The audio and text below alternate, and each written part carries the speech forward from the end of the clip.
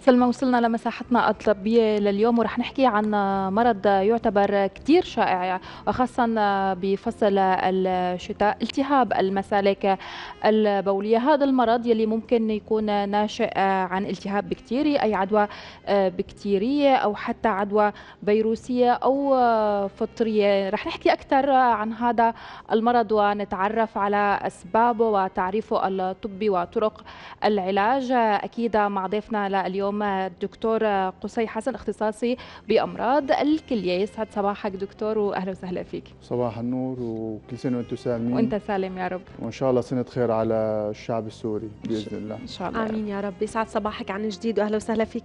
يعني دكتور خلينا نبلش من التعريف الطبي لمشكلة الالتهابات البولية. شو السبب؟ المنشأ الأساسي لها آه كتعريف الالتهابات أو الإنتانات البولية هي وجود العامل الممرض بالبول بتركيز محدد.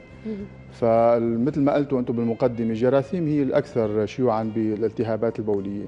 فوجودها بتركيز محدد بحيث إنه تعطي أعراض هي بصير عندنا اسمه التهاب بالمجاري البولية سواء كان التهاب بالمثاني أو التهاب بالكليتين تمام. وكأسباب طبعا الأسباب أو كجراثيم عادة. خلينا نحكي عن الجراثيم بشكل رئيسي لأنه هي الأكثر شيوعا. فالجراثيم عادة بتجي من الإنسان نفسه.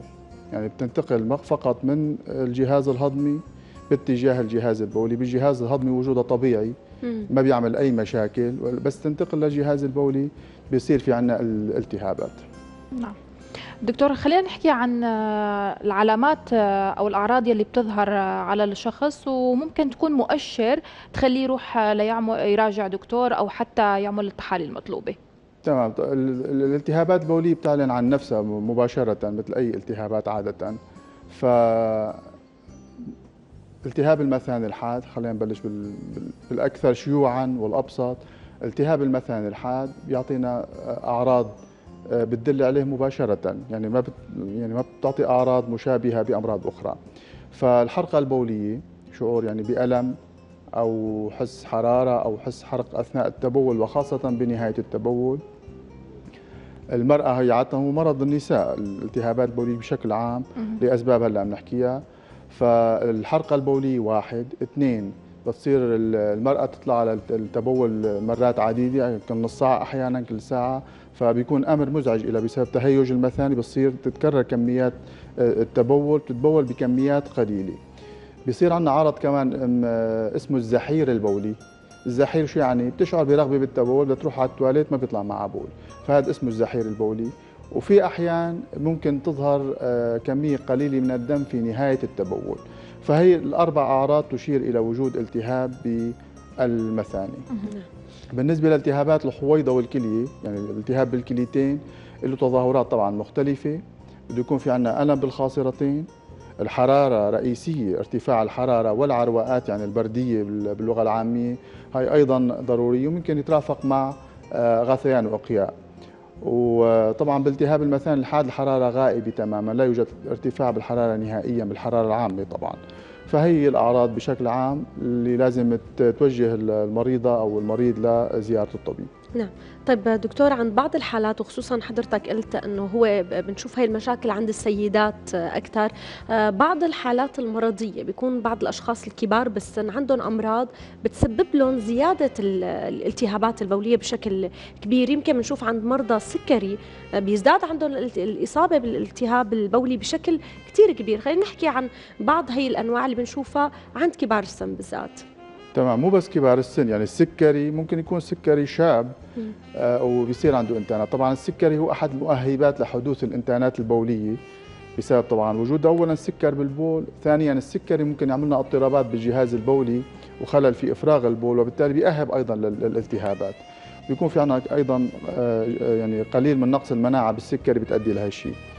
في إصابات أخرى يعني مثلا بنقول الذكور الكبار بالسن عندهم ضخامة بروستات، ضخامة البروستات تؤهب للإنتانات البولية، وجود أي جسم غريب ضمن الشجرة البولية أيضا يؤهب للإنتانات، مثلا بنقول الحصيات، الحصيات شائعة كثير، مجرد وجود حصاد ضمن الجهاز البولي ممكن يتركب عليها التهاب مجاري بولية.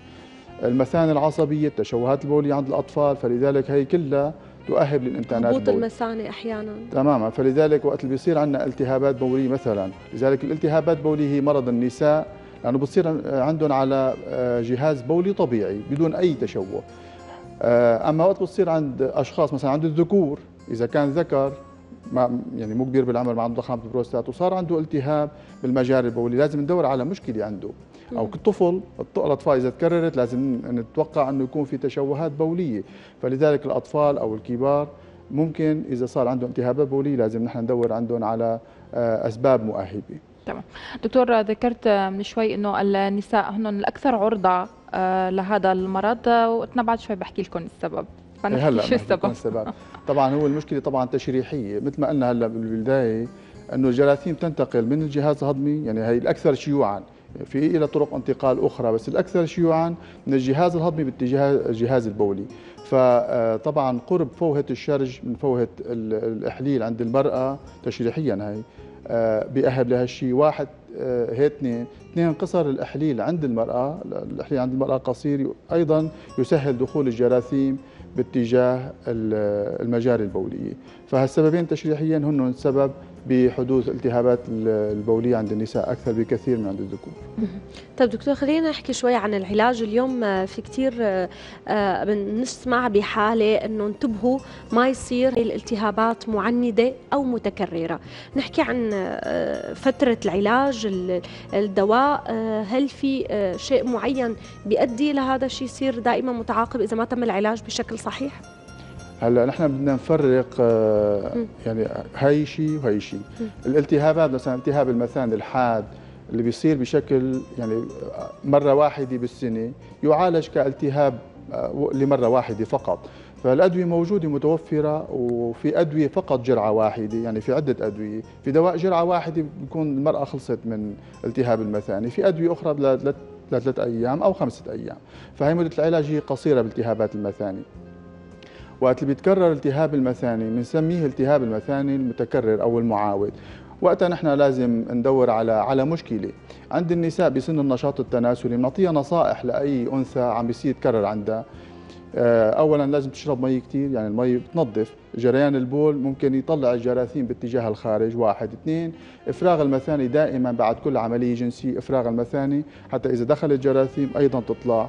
فهي التوصيات إذا التزمت فيها المرأة بدقة وظلت الالتهابات تتكرر وقتها. لازم نحن ندور على سبب مؤهب حتى نحن نعالج السبب مثل ما قلتي. قد يكون عندنا هبوط بالمثانه قد تكون حصاد قد يكون جزر مثاني حالب يعني في يكون مشكلة حقيقية لازم تتعالج حتى نحن آه، آه، نرتاح من الالتهابات. بالنسبة لالتهابات الحويضه والكلية آه كمان ممكن يتكرر وممكن نحن طبعا أيضا نبحث عن أسباب عند تكرره.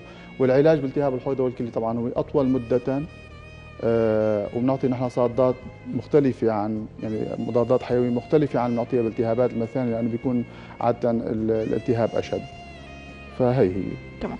آه، دكتور من العلاج خلينا نروح على الوقاية اليوم. آه، إذا السيدة كون النساء هن الأكثر عرضة عم تتكرر مع هاي الحالة و يعني ما عم تروح إذا بدنا نقول أو كل فترة بترجع لها في طرق وقاية اليوم آه، أو مثلا نسمع عن موضوع الغسول ما بعرف إذا بيفيد ولا لا بهذا الموضوع. هلا الوقاية مثل ما قلنا وقت بتتكرر الالتهابات وهي بتكون حالة معقدة للنساء. وقت بتتكرر أهم شيء شرب المي يعني في كثير نساء على شرب كميات كبيرة من كافيه من المياه بحيث إنه تكون كمية البول آه، خلال 24 ساعة لترين لترين ونص هي قد تكون كافية لمنع تكرر الإنتانات. آه، مثل ما قلنا إفراغ أيضا المثاني بعد الجماع. هلأ هي وقاية ذكرنا هون يعتبر وقاية. هدول وقاية. هلأ نحن آه، في آه، عادات سيئة كمان. مثلا الغسول أو المعقمات المهبلية هي هي أثرها بالعكس عكسي. سلبي. سلبي وليس إيجابي. ليش؟ السبب؟ لأنه في عندنا نحن جراثيم موجودة في المهبل بشكل طبيعي بنسمى الفلورا المهبلية الطبيعية. فنحن وقت بنحط هالمعقمات بنقتل هي الفلورا أو الجراثيم موجودة بشكل طبيعي في المهبل فنفسح المجال للجراثيم الثانية الممرضة اللي جاية إنها تتكاثر. بينما إذا كانت الفلورا هي بتمنع من التكاثر بتمنع الجراثيم الأخرى من التكاثر. فالغسولات هي المهبلية ما بنستخدمها إلا عند الضرورة وقت بيكون في عندنا التهابات بالمهبل آه، وقتها بنعالج بنعمل غسولات بس تنتهي الأمور خلص بنخلص. بتغسل المرأة بالماء والصابون بكفي. بكفي بالماء العادي والصابون. وأي التهابات موجودة في المهبل لازم نعالجها لأنه أيضا قد تؤهب لالتهابات المجاري البولية. نعم. آه، دكتور خلينا آه، بما أنه هيك حكينا شوي اليوم بتفصيلات أكثر ندخل بالحالات المعقدة أحيانا آه، وبقصد فيها بالفترة الأخيرة صرنا نشوف عند آه، وقت بدأت جائحة كورونا آه، بنعرف إنه بعض أنواع الأدوية الصدرية أو الناس اللي عندهم أمراض صدرية بتتعارض مع بعض أدوية الالتهاب اللي هي للإنتانات البولية وشفنا كثير حالات من هذا النوع اللي بيكون شوي صعب علاجهم. بالتالي أي مريض بيخضع مثل ما بيقولوا لعملية زرع البول لنشوف جسمه على شو بيتحسس شو قادريته في بعض الأشخاص في بعض الأدوية الإنتانات البولية بتعمل لهم شدة صدرية مثل ما بيقولوا ما بصير ياخذوها فبيكون العلاج أصعب عليكم ببعض ال- الأدوية. خلينا نحكي عن هذا الشيء. هلا الحقيقة العلاج آه، نحن بالنسبة للكورونا. آه، طبعا التخبط اللي صار بعلاجات الكورونا واستخدام الصادات بشكل عشوائي. هلا نحن بس نستخدم الصادات في غير مكانها المناسب.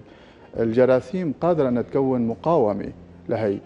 وفي أدوية تستخدم بالانتانات البوليه استخدمت بالكورونا في. غير المكان تبعها. فالجراثيم كونت مقاومة لها وبالتالي وقت بتصير بالفعل انتانات بولية واللي لازم نعطي فيها الدواء الجراثيم بتصير. مقاومة. وبالتالي نضطر نستخدم أدوية حديثة وغالية الثمن يعني في أدوية اسمها التينام أو الاميبينيم أو الميروبينيم. هي أدوية غالية الثمن حق الإبرة 40 ألف ليرة. بنقول 14 يوم مثلا المعالجه على الأقل. فالتكلفة عالية. صحيح. هاي الأدوية اللي ممكن تصيب أغلب الجراثيم. حتى نحن في جراثيم بنسميها مقاومة موجودة بالمشافي. حتى على هي الأدوية عم تصير مقاومة وبالتالي هي م- مشكلة أكيد عويصة. لذلك نحن ما لازم نعطي الصادات الحيوية إلا بالمك... بال... يعني بالاستطباب الفعلي والحقيقي. طبعا دكتور خلينا كمان نحكي عن الفئات العمرية يلي ممكن تنصاب بهذا المرض. في فئات أكثر من فئات الأطفال آه، ممكن يكونوا هلا ال- ينصابوا الفئات بهالموضوع؟ مثل ما قلنا هو آه، هو مرض المرأة عادة في سن النشاط التناسلي. فهي الانتانات البولية مثل ما قلنا بتحصل هو المرأة عم نحكي عن المرأة. آه، فلذلك إذا أصيبت فيه المرأة عادي. أما عند الأطفال طفل فرضا صار عنده انتانات بوليه لازم نحن نشوف شو المشكلة لازم. يكون يعني نشوف المشكلة نحددها. يعني في تشوهات بوليه ما بنكشفها ما بتعلن عن نفسها إلا بإحداثها للانتان يعني بنقول مثلا الجزر المثاني الحالبي هي بيكون في تشوه بولي بترجع فيه البول من المثاني باتجاه الحالب. هذا بيأهب للانتانات وبالتالي نحن إذا كان عند الطفل عنده انتانات متكررة لازم نعمل صورة حتى نشوف يا ترى عم يرجع البول ولا لا. فلذلك عند الأطفال هي غير شائعة وبالتالي حدوثها عند الأطفال يستوجب البحث عن سبب. عند الذكور أيضا ما بتصير عند الذكور إلا إذا كان مثلا إذا كان في مريض عنده بحصه بالكليه وصار عنده التهاب مفهومي بالنسبة لنا خلص الحصات موجودة. أما إذا ما كان في عندنا أي مشكلة واضحة وصار في عندنا التهابات عند الذكور طبعا لازم ندور على على أسباب. فهو مرض النساء في سن النشاط التناسلي. طيب دكتور خلينا نحكي عن آه، بعض المحظورات. يعني اليوم هيك لكل السيدات اللي عم بيتابعونا آه، بما إنه مثل ما قلت هو مرض النساء أكثر من مرض ال- الرجال شو المحاذير اللي لازم يتبعوها لحتى ما ينصابوا؟ نوع من أنواع الوقاية مثل ما بيقولوا. هلأ آه، يعني آه، إجراءات وقائية هلأ نحن بنقول الإجراءات الوقائية بنقول ما بتنطبق على الكل الإجراءات الوقائية بنحط يعني بنوضعها ما في محاذير بتمنعها نهائيا. صح. بس نحن ال- اللي قلنا التوصيات أو الوقائية اللي قلناها فقط اللي بتتكرر عنده الانتانات أما غير هيك نحن التوصيات العامة أو توصيات الصحة العامة شرب كميات كبيرة من من المياه؟ هي جيدة بالنسبة لصحة الكلى وللانتانات البولية. طب دكتور في أخطاء شائعة اليوم حضرتك عم تشوفها وعم تتابعها؟ ممكن للأسف حدا عم يشخص بطريقة غلط موضوع آه التهاب المسالك البولية؟ عم تكون في أخطاء شائعة اليوم بين المرضى؟ أكيد هي موضوع لازم كثير نضوي عليه لأنه نحن تفضل. أي امرأة بصير عندها مثلا حرقة بالبول بدون إجراء فحص بدون إجراء شيء بيعطوها بي- دواء. بيعطوها صاد يعني بيعطوها صادات. أو حتى في بعض النساء آه، يعني صار عندهم مثلا لمرة واحدة التهابات آه، التهاب مثاني حاد. بالمرة الثانية بس يصير حرقة بسيطة بتكون اخذ الدواء. لا ما لازم نحن ناخذ الأدوية اطلاقا مثل ما قلنا هلأ. احسن أفضل ما تصير مقاومة عليها إلا بالإستطباب الصحيح. وبس نتأكد من التشخيص. يعني تشخيص الالتهاب مثلا حاد سهل كاعراض سريرية وكفى يعني نعمل بس فحص بول عادي. بتبين معنا إنه بفحص البول موجود جراثيم وموجود كريات بيضاء فالتشخيص سهل. طيب. دكتور كمان خلينا نسأل هيك بعض الحالات الخاصة أحيانا. يعني أوقات بيكون في آه، آه، مريض عنده أكثر من مرض مع بعض وهي دائما بيكون أكثر من طبيب عم يس... بيشتغلوا على الحالة مع بعض. خلينا نحكي عن حالات المعقدة الصعبة ب... بهذا الوقت اللي عم نمر فيه. قديش مر عليك هيك حالات؟ وشو الحالات أبرز المعقدة حالات آه، بنقول شبه يومية بالنسبة لنا لأنه نحن عم طبعا عم نشتغل بمشفى كبير ومشفى ضخم مشفى الأسد الجامعي. فلذلك هي الحالات يومية والحالات المعقدة دائما عم نتعامل معها. فطبعا الإنترنت البوليه آه، بتزيد التعقيد بتزيد التعقيد وهي سبب خاصة التهاب الحويضة والكلي هو سبب لحدوث مثلا الصدمة الإنتانية المريض بينزل ضغط بيحتاج للعناية المشددة الحالات المعقدة الأخرى يعني أي المريض اللي عنده احتشاء عضلة القلبي إذا صار عنده انتانات بولية بيصير العلاج صعبة. بيصير علاج أصعب. مريض القصور الكلوي المريض اللي عندهم تثبيط مناعي بيصير دائما العلاج أولا أصعب. الجراثيم بتكون يعني قوتها أو فوعتها بنسميها الفوعة آه، أكبر ومدة العلاج بتكون أطول. فهي خسارة للمريض ولل للمشفى مثلا بيضل المريض فترة أطول المشفى بياخذ سرير فهي الحالات معقده عم تعامل معها يوميا. نعم. دكتور يعني نصائح كثير ومعلومات كثير أخذناها من حضرتك. بدنا نتشكرك اليوم لوجودك معنا ولكل المعلومات والإضافات اللي قدمتها شكرا شكرا كثير لك دكتور. شكرا لوجودك معنا ونتمنى أكيد الصحة والسلامة للجميع. واليوم كان معنا هيك بعض النصائح الطبية لكل أشخاص ممكن يعانوا بشكل مفصل. من هي المشكلة. واللي ما قدر يحضرنا مثل العادة بنقول فيه يشوف على اليوتيوب أو يشوف الإعادة فقره شكرا لك شكرا لكم.